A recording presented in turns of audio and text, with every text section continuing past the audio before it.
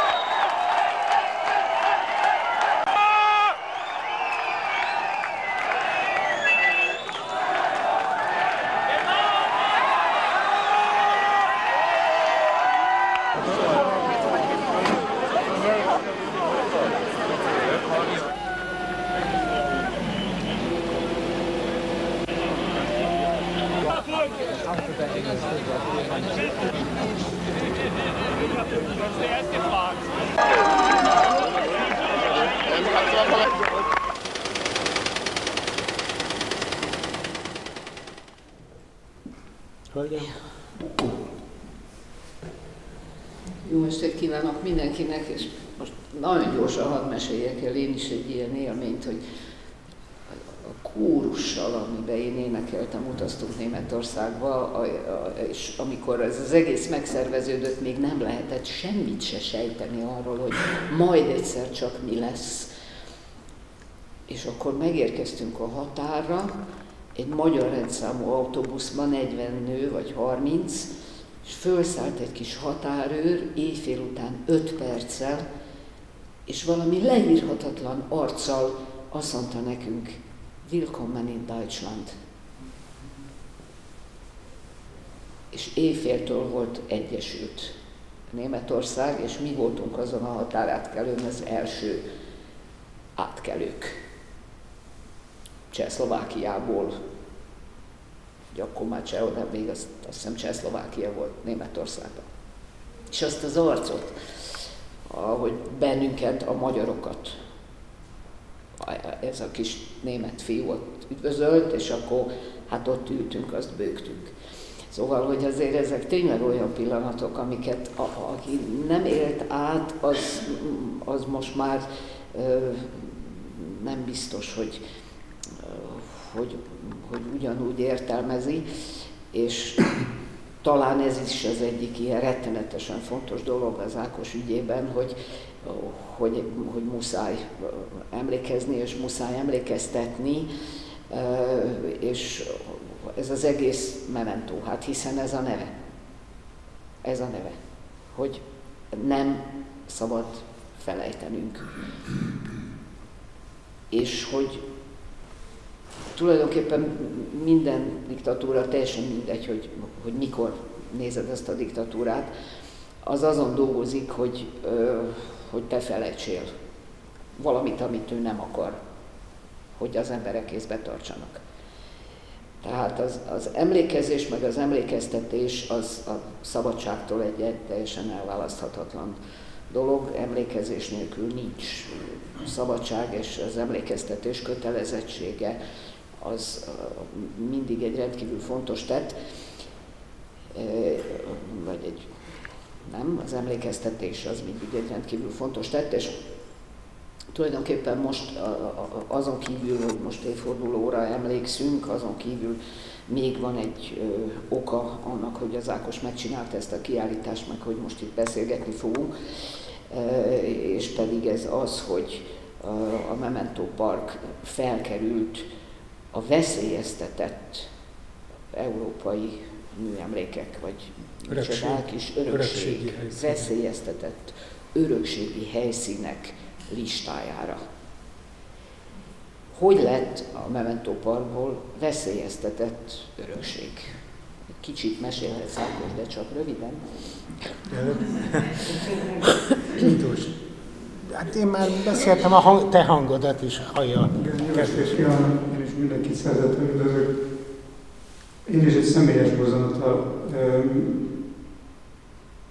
lépnék be a beszélgetésbe, de egy egészen más jellegűvel. A Memento Park kialakulásánál közvetett tanul voltam, mert a Budapest Galériában dolgoztam egészen a mai napig, nyugdíjas, pontosabban aktív korom utolsó napjáig, ez ma és a 35 évig, és, de nem a köztéri szobarosztályon dolgoztam, hanem a kiállítási osztályon, úgyhogy én közvetetten láttam, hogy a kollégák mit csináltak,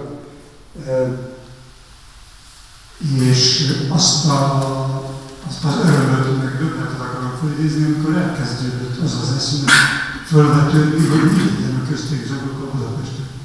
És mi a igazgatók a Zsigó leszámolóiból, annak hallottuk, hogy és láttuk az újságban, a televízióban a szándékokat Budapesten, az országban arra vonatkozóan, hogy, hogy végre döntsük le a, a, a rohadékok, meg a, a festék, meg. Ettől kezdve az értelmes javaslatokig, akik átgondolt javaslatokat fogalmaztak meg, és én bennem ez egy, egy, hát egy, egy, több egy éves, mondjuk, mondjuk az egy több éves izgalom volt, hogy mi fog történni ezzel a, ezekkel a szobrokkal, amelyek most a szoborban láthatóak.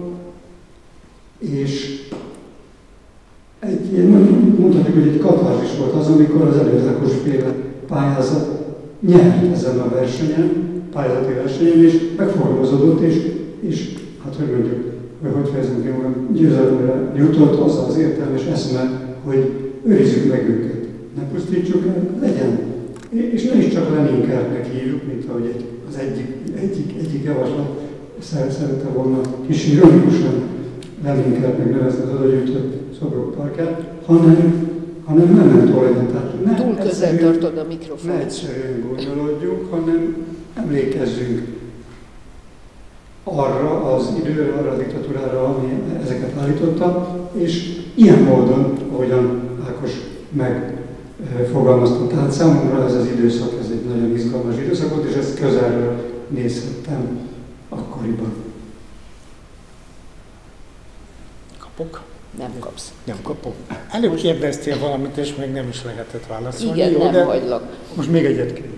Mm, csak hogy a, most, amit a Miklós mond, hogy itt a sokkal fiatalabbak, a nagyon-nagyon fiatal jelenlévő kedvéért hogy milyen ötletek voltak itt, hogy mi legyen ez a leendő hát szoborpark, most nevezzük összefoglaló néven így, és akkor olyan tervek voltak, hogy egy ilyen gödörbe be kell haigálni az összes Lenin, Stálint és mit tudom én, az összes mindent, vörös katonát és az, az összes... Stálin már nem. A Stálin már akkor nem volt persze, de szóval, hogy egy gödörbe behaigálni, és akkor mint egy ilyen állattetem gyűjtemény, a döglött szobrok, ugye ott kilógna a karja az egyiknek, a lába a másiknak, tehát igen festői látvány nyújtott volna, egy elképzelhetetlen gonosz ötlet, de a legszebb, amit Ákos mesélt nekem, hogy az is volt, hogy hogy mint ahogy 56-ban lógtak az ávosok Budapest fáin, hogy ilyen módon kellene ezeket a halára ítélt szobrokat felakasztani, és akkor az egy micsoda, egy mementó lenne. Tehát, hogy véghetetlenül gonosz és, és szerintem kártékony elgondolások voltak, és ezekhez képest csinálta meg az Ákos azt a tervet, amit. Na, és akkor most visszaadom a mikrofont, tessék. Mi volt a kérdés? A kérdésem az volt, hogy miért vált veszélyeztetett Jó, hát. ö, örökségé a szoborpark? A, a veszélyeztetettsége, de borzasztó, borzasztó a történetben az, hogy a, most 2023-ban az Európa Nostra által bejelentett sőt, ledegradáltat, hogy csak veszélyeztetett, a legveszélyes, a hét legveszélyeztetettebb 2023-ban, tehát, hogy, hogy a legveszélyeztetettebbek közé bekerül, ez szervesen összekapcsolható azzal a történettel, amit előbb elkezdtünk mesélni, hogy mi volt a rendszerváltás környékén. Tudnélik, ráadásul most rajtunk kívül még egy ember örömmel itt közelemben megszólítok. Marsa Miklós, ő volt Budapest kulturális főpolgármester helyettese, amikor ez az egész projekt indult, és Marsa Miklósnak idéztem be az egyik anyagba azt a mondatát, és ez a tragédia, hogy a Miklós leírta 1993-ban, majd utána a 94-es felterjesztésében azt a mondatot, hogy a, a, a szoborpark kizárólag a második ütemmel, a második ütem megépítésével, befejezésével tekinthető egy Európában egyedülálló büszke projektnek, amit Budapest hihetetlenül büszke lehet rá. De most ez a második ütem az, ami a mai napig hiányzik. Tehát ebben az egész történetben az a szörnyű, hogy számomra gondolható, hogy 30 éves, 30 éves történet, hogy a, a, hogy a, ki, a kiállításban megnézik, ott van az a fotó, a, a, amit a Lugosi Lugó csinált rólam 1993-ban a park megnyitása előtti napon, és a, koronfekete szakálú fiatalember harántba átnéz a fuga előterén, és a másik oldalon az ősz szakálú apóka ott magyaráz, két, két évvel ezelőtt a, a Budapesti Történeti Múzeum vette föl velem azt a, azt a, beszélgetést, ami, amit ott. És hát ezek ketten egymásra néznek, mert ugyanarról beszélnek. Tehát a kérdésedre a válasz nem épült meg a második. Miért fontos ez? Mert az első ütem az én koncepcióm szerint, ugye nagyon jó, hogy mondtad, hogy, hogy szörnyű, elítélő koncepciók voltak, az enyém teljesen más volt, és rém furcsa volt, hogy a levegőben abszolút az elítélés volt. Büdös mocsok kommunisták, dögöljetek meg a szobraitokkal együtt. Ez így, így a lájtosabb változat, de tényleg a, a legradikálisabbak azt mondták, hogy beolvasztani, hogy, hogy, hogy, hogy tönkretenni a szobrokat, és még utána a, a szelídebb, kedvesebb változat is az volt, hogy na jó, jó megtartani őket, de valami szégyenparkot építeni, amit itt a Noémi beidézett, és aztán a még ennél is finomabb, szerintem gonoszabb, vagy még, még guztustalanabb, hogy na jó, ne szégyenparkot, de valami gúnyparkot, valami olyat, ami olyan jól ki lehet nevetni.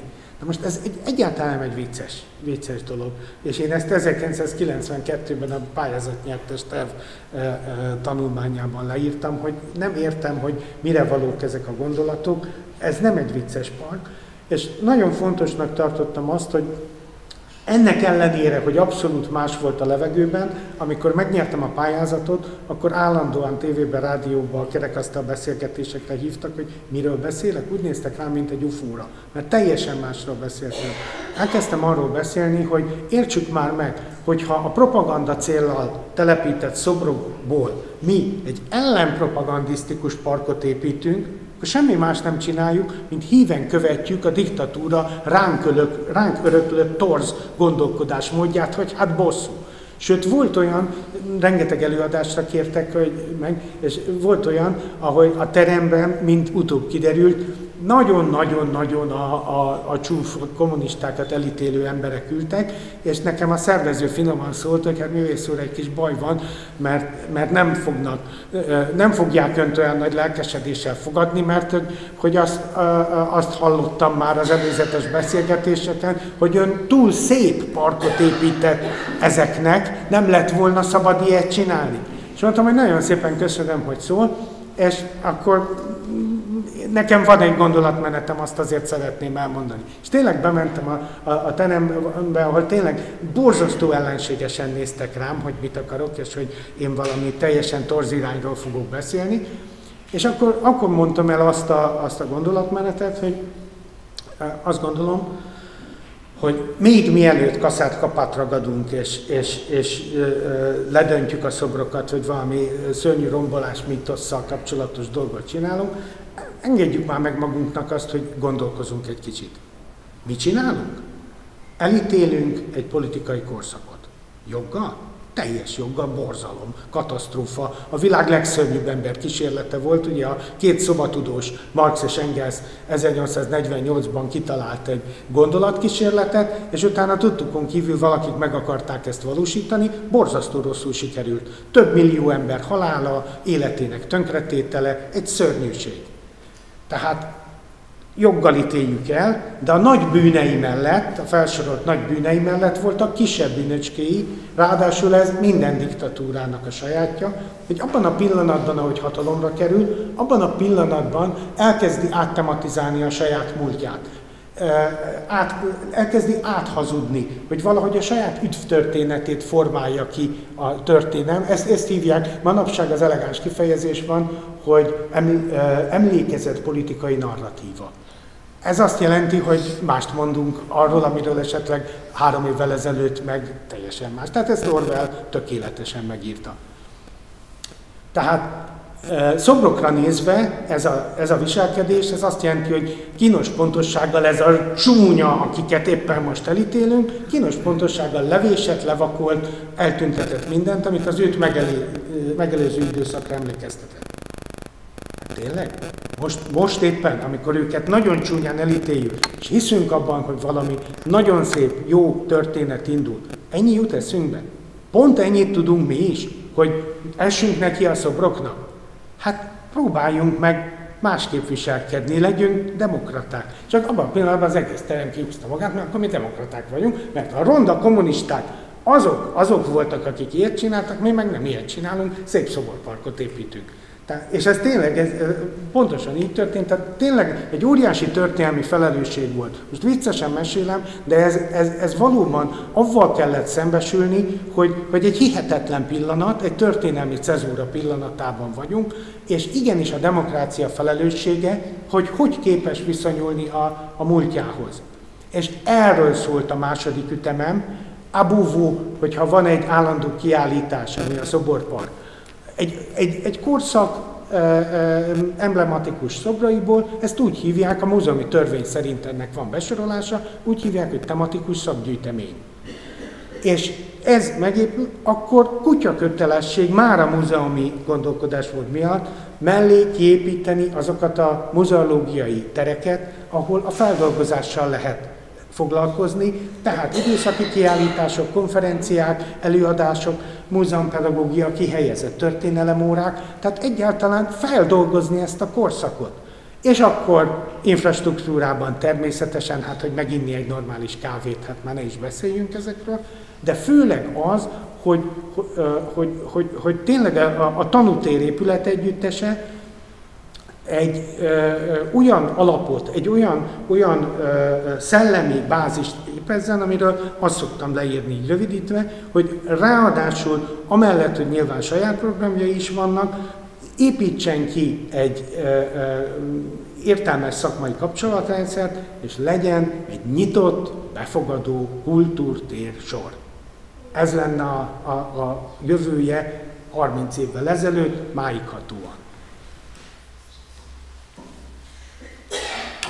És az egésznek didaktikus értelme volna, tehát a tanítás, a, az iskolai tanítási értelem és a kulturális tanítási értelem, a kulturális turizmus hálózatában működne, illetve működik jelenleg.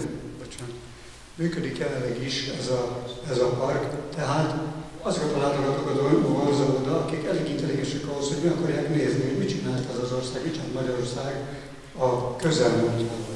És ez nem csak a volt keleti országai, hanem igenis a nyugatiak is eljönnek, olaszok, spanyolok, franciák, angolok, németek, példát venni arról, hogy hogyan lehet viszonyulni a múlthoz.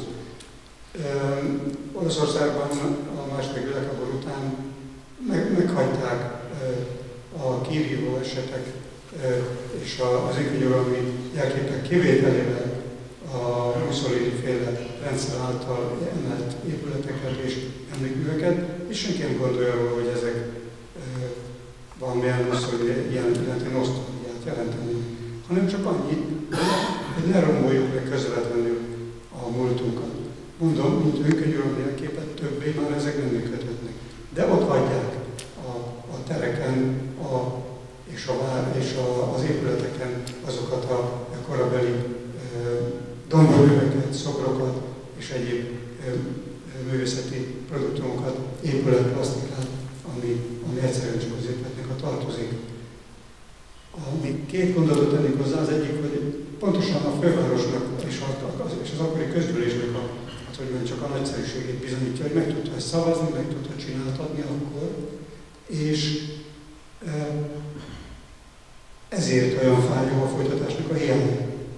Mert az örök ér ilyenkor, hogy azért nem akkor pénz az, hogy ne lehetne nyugodtan megcsinálni. Tehát nem valami atomsilót kell építeni csillagászati összegekből, hanem, hanem egy múzeológiai mértékű beruházásról lenne szó. És ez a múzeológiai beruházás szerintem pontosan a, fel, a felejtésnek az egészséges folyamatát segíteni elő, mert egyrészt igaz, hogy a történelmi tanítás szintjén mindig is emlékeztetni kell és, meg is, is érthetően el kell magyarázni azt a rendszert, ami akkor volt. Pont azért, hogy nem is érvényben. Ugyanakkor, ugyanakkor azonban arra ne gondoljuk, hogy örökké emlékezni fogunk erre. Ilyen, a, ilyen a, az élet és az emberi természetnek a folyamata, hogy el fogjuk felejteni. Nem azt, hogy mit ne csináljunk újra, de végül is előbb-utóbb felejtésbe fog merülni, de addig, amíg felejtésben nem merül, addig értelmesen nekünk a múzeumban ezt el kell magyarázni az utánunk generációknak. Tehát kettős folyamat van. Felejtés is, és a felejtésnek az engedése.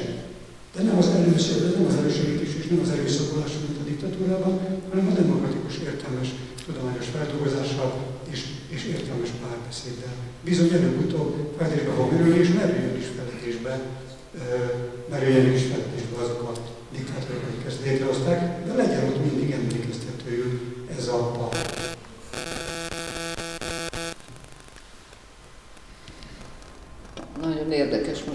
megfigyelni, hogy hogy a, a nagyon művelt és nagyon demokratikus nyugat is milyen érdekesen tud viszonyulni a, a, az elfelejteni való, illetve a, a megőrizni való dolgok hoz, mert hogy most az Egyesült Államokban vagyunk tanulni annak, hogy szoborrombolások zajlanak, vagy szeretnének zajlani, és amikor azt mondod, hogy, hogy feledésben merül a dolog, azt, azt nem mindig lehet prognosztizálni, vagy nem mindig lehet tervezni, hogy, hogy mikor tud valami békésen feledésbe merülni, mert mint a rugós krampusz látszik most, hogy, hogy, hogy ez, ez a baromság, hogy a, hogy a, a, a múltat végképp eltörölni. Tehát azért erre nincsen jobb mondat, mint az internacionálénak ez a részlet, hogy a múltat végképp eltörölni,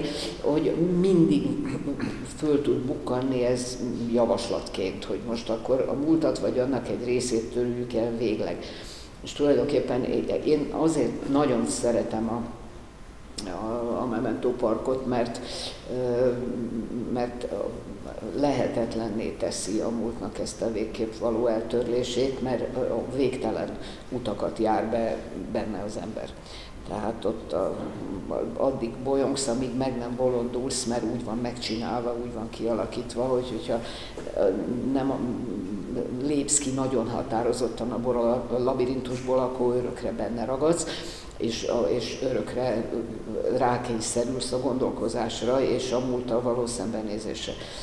Tehát most az, ami hiányzik, a, a, a tanú tér, ezt a nevet adta neki Ákos, ez szerintem a tanúság az egy ugyanolyan rettenetesen fontos dolog, hogy a, az, a, a jó emlékező az a tanú.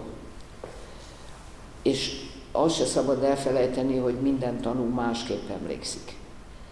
Tehát, hogy van egy bírósági tárgyalás, és akkor ott megkérdezzük a tanúkat, hogy mi történt, és akkor az egyik szerint csíkos zokni volt, az elkövetőn a másik szerint pöttyös zokni, a harmadik szerint nem volt rajta egyáltalán zokni, de nagyon büdös volt a lába. Szóval, hogy nagyon sok félék a tanúk, és minden tanút meg kell hallgatni és mindenkit rá kell bírni arra, hogy tegyen tanúságot. És hogyha nincs meg ez a tanútér, akkor valóban az emlékezet lehetőségei csorbulnak. Az emlékezés, a pontos emlékezés lehetőségei csorbulnak. Ákos úgy üt, hogy mindjárt kitépi a kezemből a mikrofont, úgyhogy odaadom neki. Gyere, szeretlek. Láttad volna, hogy hogy néztél, amikor én a solyoknak adtam, és nem neked. No. Úgy megijedtem, hogy örülök. No, én...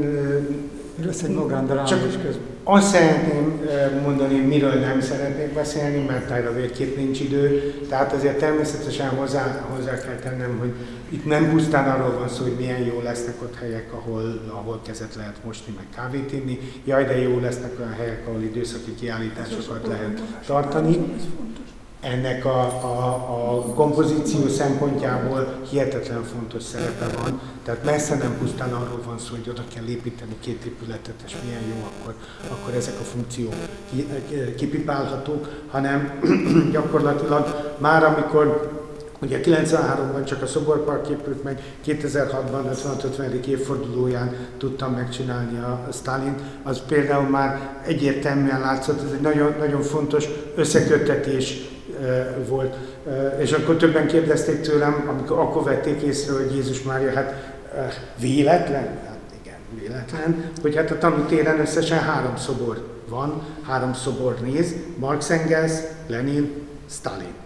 Mert hogy a tanútérnek akkor mondtam, mert van egy kulcsmondata a szoborparknak is, és ugyanúgy a, akkor mondtam el a tanútérnek a kulcsmondatát, a szoborparkjét, hát biztos önök ismerik, vagy ti ismeritek, hogy ez a park a diktatúráról szól, de abban a pillanatban, hogy én parkot tudok építeni a diktatúráról, abban a pillanatban az a park a demokráciáról szól, csak a demokrácia ad nekem arra lehetőséget, hogy hangosan beszéljek a diktatúráról.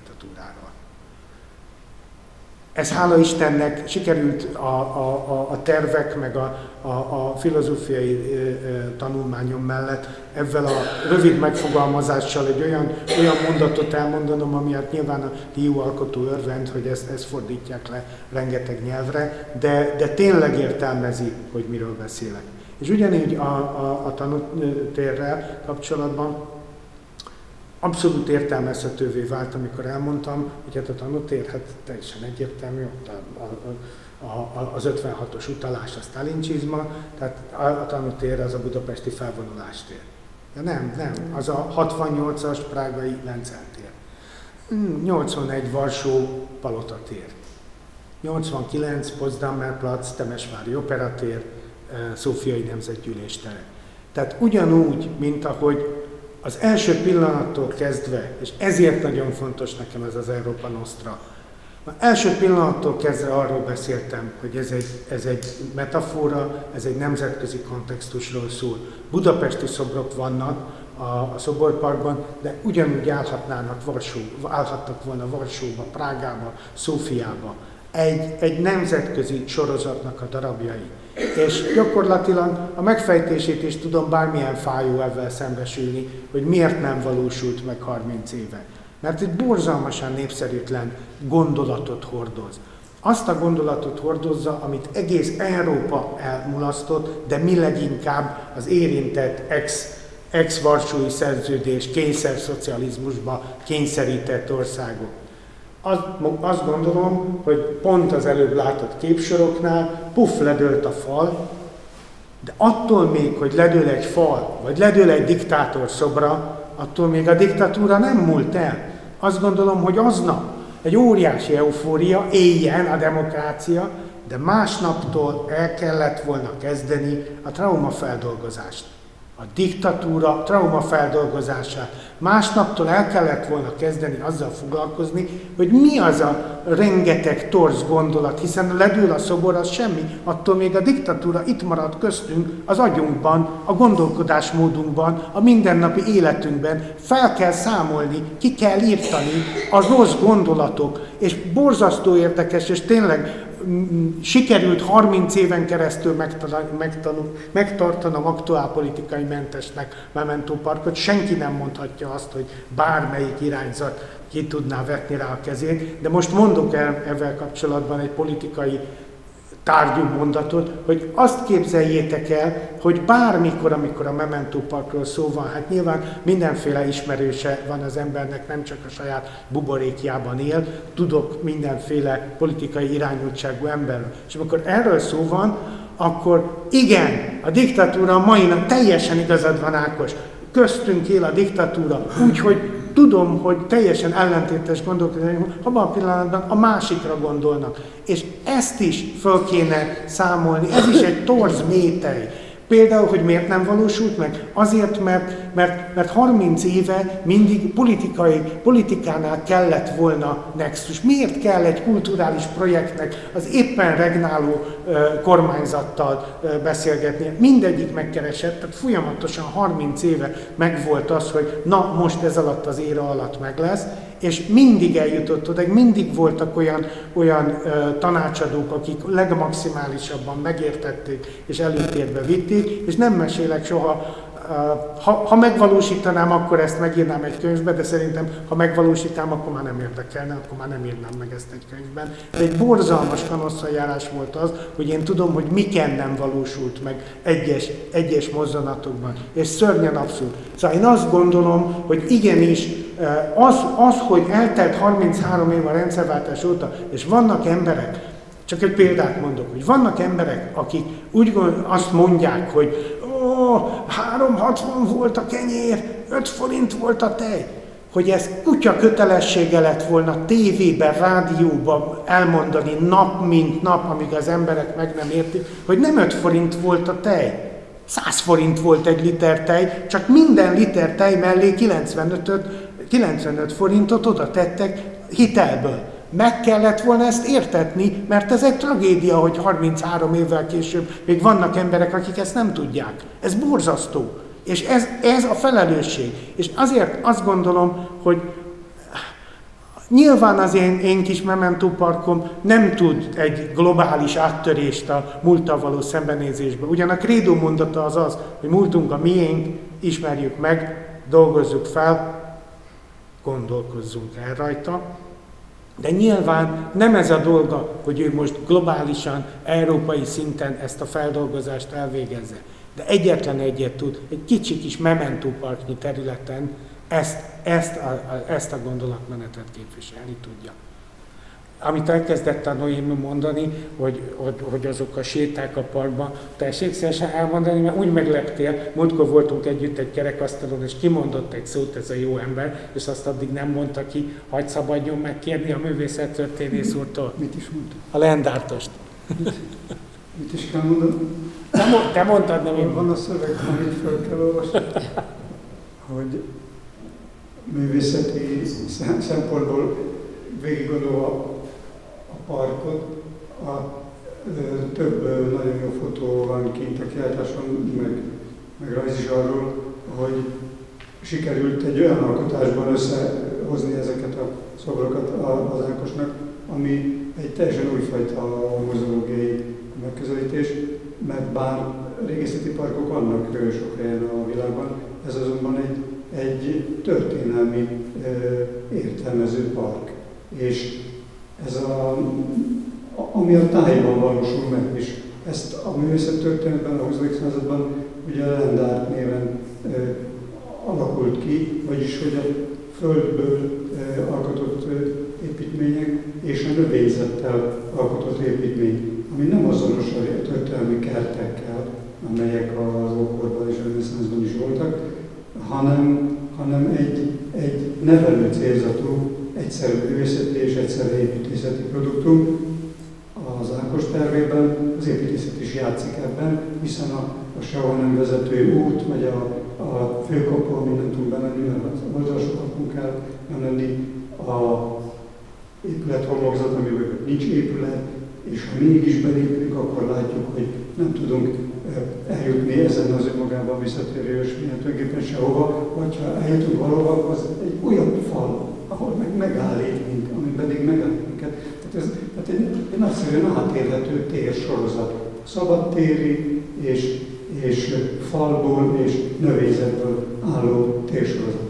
Tehát ez egy, ez egy olyan módon megalkotott, mondjuk az, hogy összművészeti alkotás, ami, ami igen jól tudna, illetve nem csak tudna, működik is kulturális turisztikai látványosságként, ami a legjobb értelemben vett eh, turizmusa, mert ér- értelmes, minőségi, intelligens embereket hoz ide, akik nem a közeli negyedben, ugye a, a söri vásár és a sarokra bizonyítsra töltik az idejüket, hanem gondolkodással és, és a, a, annak az országnak a megismerésével.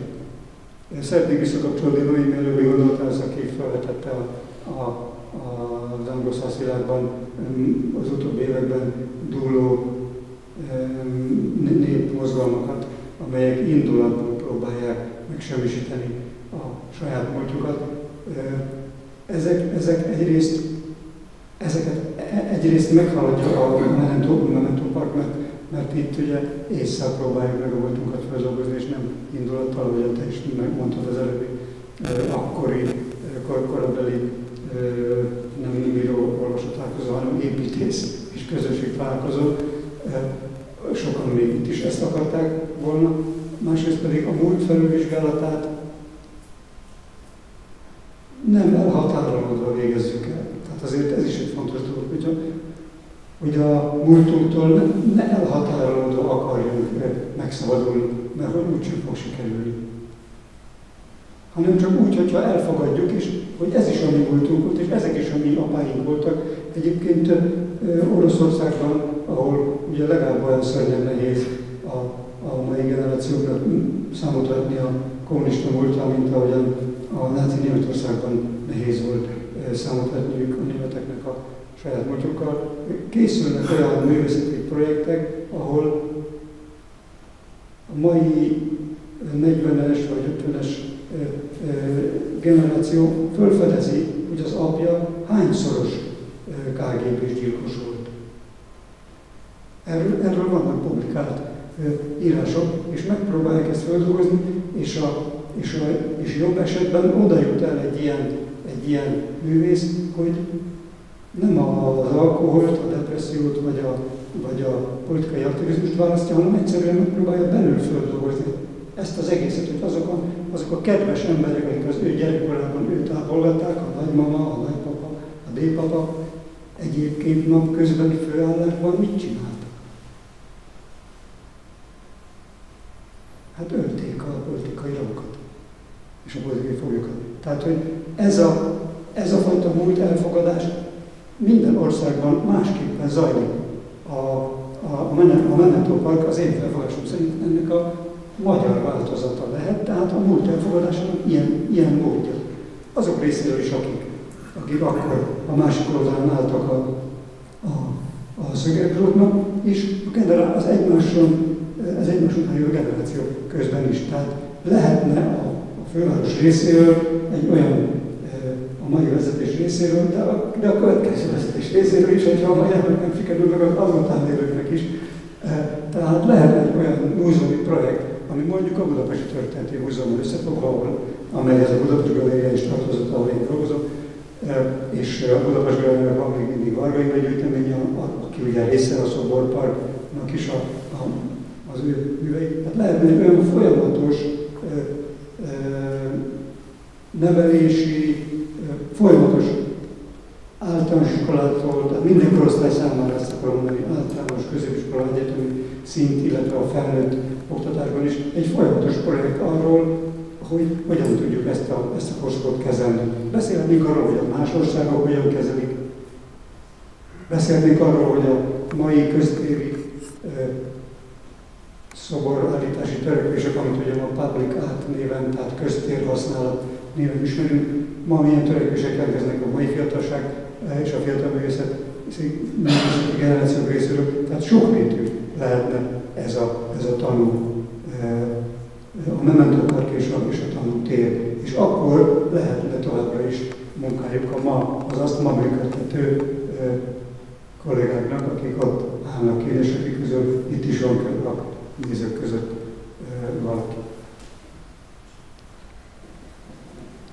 Nekem egyáltalán nem szakmám, hogy a társadalom befolyásolásának a különböző módozatai, ezek hogy mennek, tehát ugye vannak most már olyan hivatások, amik így ezzel foglalkoznak, de én egész jobbik életemben tanár voltam, és ettől nem bírok szabadulni, és amikor, és az utolsó 17 évemben meg múzeológus voltam, és akkor hogy így most múzeum, vagy egy ilyen múzeumszerű dolog jönne létre ugye azzal, hogyha a tanútér és az ő épületei elkészülnének, és hogy, hogy miért ütközik ez ennyire falakba. Azért itt nyilván ott van e mögött, az egész mögött a, a mindenkori, teljesen mindegy, hogy melyik politika, és a politika az imád mindenféle az ő számára használható dologból politikai terméket kovácsolni, és van ugye olyan múzeum a városban, amelyik egy politikai termék, és ami ugyancsak a diktatúrákról szól a maga módján, és az Ákosé pedig egy egészen másféle nyelven szól, mert nem kíván politikai termékké válni, mert hogy alkalmatlan is rá. Tehát nem is akar, de nem is tud azzá válni. És akkor, tehát egyáltalán nem mindegy én szerintem, hogy, hogyha befolyásolni akarjuk a közgondolkozást, hogy akkor azt a tanítás módszereivel tesszük, vagy a manipuláció ami most zajlik körülöttünk, ugye az arról szól, hogy tiszta erőből állandóan manipulálnak bennünket. A demokrácia én szerintem pont arról szól, hogy az ember nem manipulálják, és az ember nem hagyja, hogy manipulálják, és az embert alkalmassá teszik arra, hogy tudjon különbséget tenni a kettő között, és tudjon védekezni az ellen, hogyha őt manipulálni szeretnék. Ugye erre a mai gyerekek semmi, semmilyen intézményes képzést nem kapnak, sőt ellenkezőleg. És attól tartok, hogy hát így a, a, a tanútér az pontosan abba az irányba hatna, hogy hogy légy képes a gondolkodásra, légy képes az ítéletalkotásra, légy szíves a saját fejeddel, juss el odáig, hogy ítéletet alkos, és nem akarjuk megmondani neked, hogy az milyen legyen az az ítélet, csak gyere oda, nézzél körül, gondolkozzál az, az egy fejeddel, édesfiam, és akkor majd lesz neked egyszer csak egy véleményed, segítek abban, hogy az igazságot megmutatva alakíthast ki a te véleményedet. Tehát az én olvasatomban ez lenne a lényeg ennek az egész mutatványnak, hogy én segítek neked abban, hogy a saját fejeddel alkos hiteles információk alapján hiteles véleményt, és akkor, akkor demokráciáról beszélünk. Azt mondtad, hogy vannak még ilyen megmutatni való film részletek, hát, vagy valami. Ezt a témát, témához kérjük meg egy pillanatra Berevényi urat, hogy tegye hozzá a maga gondolatát.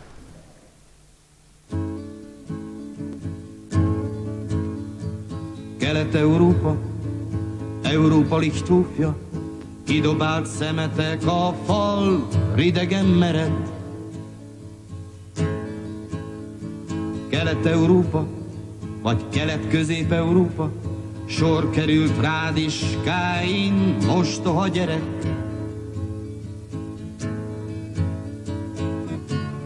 Édes szívem te, vak süket nóta, ócska a verkli éneket, 56 Európa, 68 Európa, te billé pofozott, ősz eltorzult gyerek. Kelet-Európa, ott ülnek a boltba, Tiranno, Marxo, Geronto és Trabant fejesek.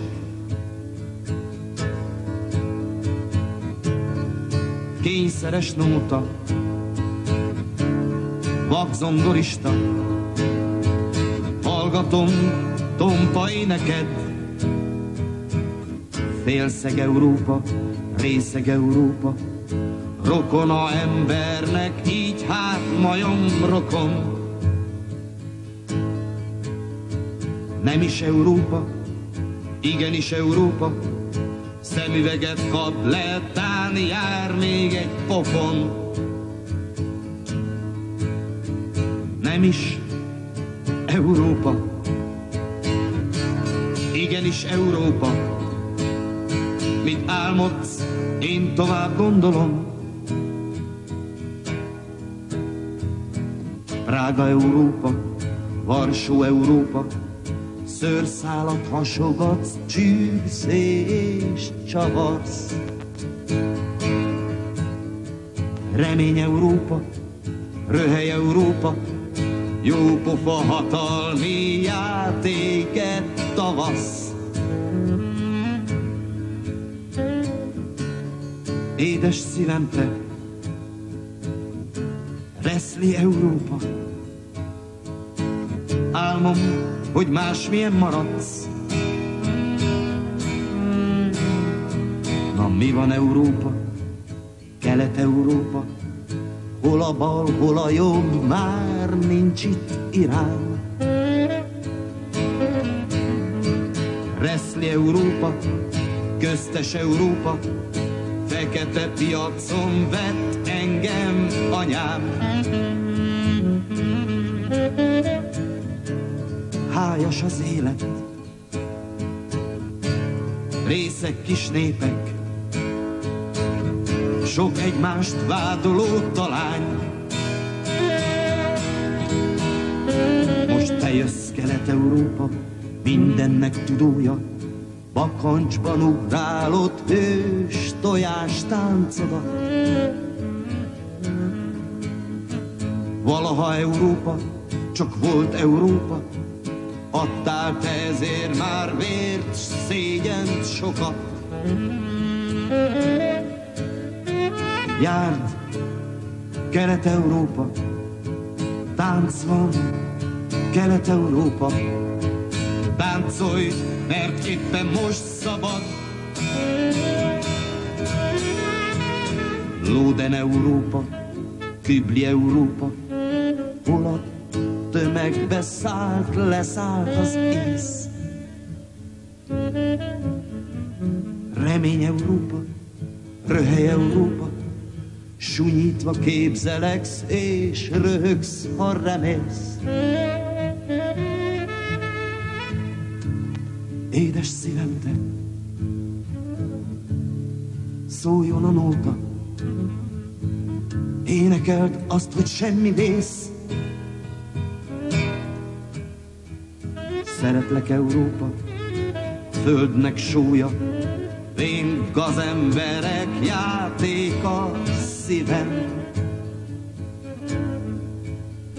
És ismét Európa, Kelet-Európa, mondd azt már megint csak, kérlek, hogy igen. Szűk, boros szájjal, én fölém hajolva, Dúdold még ezt kicsit nekem,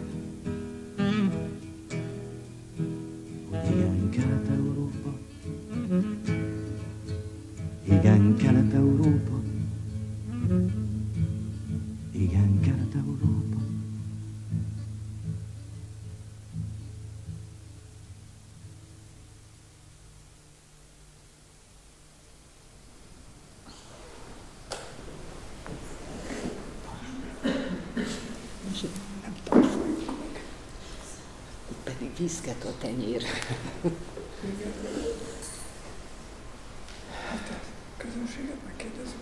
Jó.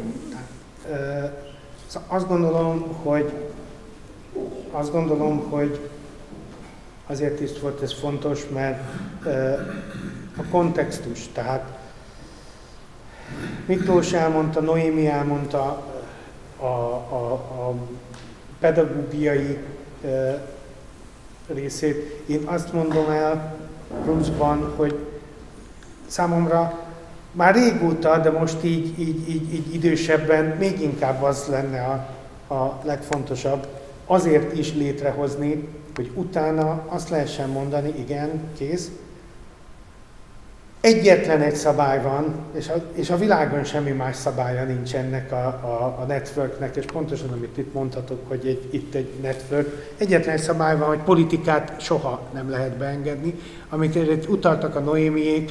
Igen, a, a, a politikával való kontextusomnak tényleg ez volt a legszörnyűbb ö, ö, hozadéka, hogy, mint említettem, nagyon-nagyon, és tényleg minden kormányzat mellett, ezt őszintén mondhatom, találtam olyan tanácsadókat, olyan ö, ö, döntés előkészítő embereket, akik abszolút értelmesek, és abszolút megértették. Csak valóban, ahogy Miklós, ahogy Noémi már említették, hogy van egy pont ebben, ezekben a tárgyalásokban, van egy pont, amikor, amikor ez megváltozik, és bejön valami olyan hanga a, a, az egész történetbe, hogy na jó, jó, de hát azért, azért ha megcsináljuk, azért akkor, akkor ez most szóljon egy kicsit rólunk. És én abban a pillanatban elengedtem azt. Szóval nem. Ami azért, azért röhely, mert sokan mondták már nekem, hogy, hogy ne szórakozz már most.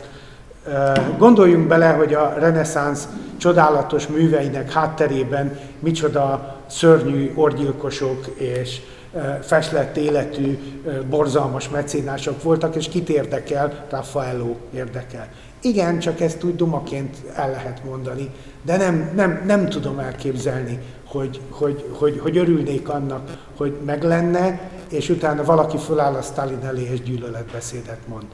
Mert valahogy, valahogy mindig is úgy gondoltam, hogy a parkom a rendszerváltáskor valahol valahol egy pártrendszeren már túl, de több pártrendszeren még innen, valahol a senki földjén egy civil, egy civil gondolat, egy, egy demokrata civil gondolat, ami pártállástól, meg minden egyéb nézőpont különbségtől teljesen függetlenül a tisztességes gondolkodású demokrata embereknek legyen egy lehetősége, és azt gondolom, hogy, hogy a rendszerváltáskor, akik, akik akkor már felnőtt emberek voltak, azt gondolom, hogy nagyon sokan voltunk úgy, én így voltam, nem tartoztunk azok közé, akik mondjuk naívan azt hitték, hogy, pár éven belül itt nyugat-európai tehát megvan a rendszerváltás, és pár éven belül Nyugat-Európa lesz olyan, olyan életet tud produkálni. Ezt, ezt, ezt azt gondolom józanul, ezt, ezt nem lehetett gondolni. Természetesen senki nem tudta, hogy hogy lesz, mi lesz, de hát, hogy ez azért hosszú lesz, az sejthető volt. De, de ettől függetlenül volt, volt bennünk valami, nem is akarom pontosabban megfogalmazni, valami jóra várás. Tehát, hogy valahogy tisztább lesz az ügy, valahogy, valahogy más lesz. És engem most egyáltalán nem, nem akarok belemenni, hogy aztán milyen lett, de inkább azt mondom, hogy, hogy miután az enyém az egyetlen, eh, amelyik közvetlenül, tehát egész Európában, így hát az egész világon, tehát amelyik a 1989-es európai demokratikus sorsfordulónak a közvetlen közvetlen projektje. Tehát, hogy nem 20 évvel később találta ki valaki, vagy 10 évvel később, hogy kéne a demokráciáról valami ilyet, hanem az enyém az közvetlen. Tehát amikor én megnyertem a pályázatot, 1992. május 28-án volt az eredményhirdetés, 91-ben még szovjet tankok voltak Magyarországon. Tehát nem egy olyan országból jött ez a gondolat, ahol bocsika demokráciáról, hát ezért azt mi tudjuk, hogy mi. Tehát, tehát tényleg ez közvetlenül a rendszerváltás, ahogy megvolt a, a szabad választás és az önkormányzati szabad választás, ez például Budapesten azonnal elindult, erről való tárgyalás, és ennek az egyenes lépésről lépésre való következménye lett, hogy 91-ben a fővárosi közgyűlés megszavazta, kiírták a pályázatot, 92-ben megértem, 93-ra megépítettük, és megcsináltuk. Tehát én azt gondolom, hogy, hogy ha valaha, valaha meg lesz, az én, én, én Parkom ennek a mementóját is őrzi. A tanútér ennek is a tanúja, annak a reménynek, amit akkor éreztünk.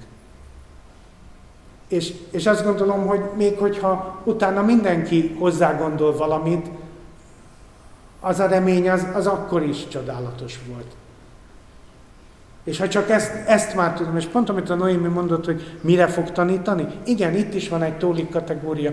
Tehát én azt gondolom, hogy ha csak arra tanít valakit, mert mondjuk ő nem szeret gondolkozni, vagy kevésbé tud, de csak arra tanít valakit, hogy, hogy eljön a Memento Parkba, és azt megjegyzi, na hát ezek a randa kommunisták micsoda mocsok alakok voltak, és hogy, hogy, hogy nyilván ez így, így kimondva nem, de hát, hogy a Miklós mondotta, hogy építészeti metaforák, hát igen, hát nekem az óriási homlokzatom az erről szól, 40 méter hosszú, 15 méter magas, valaki középről ránéz, azt mondja, hát micsoda büszke monumentális homlokzat, de bizony egy büszke monumentális épület van mögötte.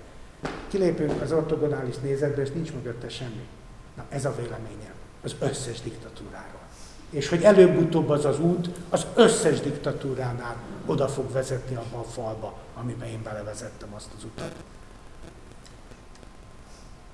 És erről szól, és hogyha valaki ideig nem jut el, hanem azt mondja, hogy a kommunisták voltak, én szerintem zseniális. Az nagyon jó. Az nagyon jó, akkor ő ezt erről megjegyzi. Ha tovább gondolja, és nyilván a továbbgondolásból, és abszolút politika független mondom, minden továbbgondolásból, pontosan az a kettő, amit a előttem szólók mondtak, hogy benne van az, hogy felszámolni a múltat, és hogy egy, egy jövőre, egy reményre nyitni, akkor ez fantasztikus. Szóval én csak ezt szeretném megcsinálni 30 éve, és egyszerűen nem, nem igaz, hogy, hogy úgy fogok meghalni, hogy ez még torzó. Tehát nem, nem, és én ezért vagyok most felhajzva ezen a, az Európa Nostrán, mert ez most egy borzasztó lehetőség. Legyen, ezen a kiállítást megnyitottuk.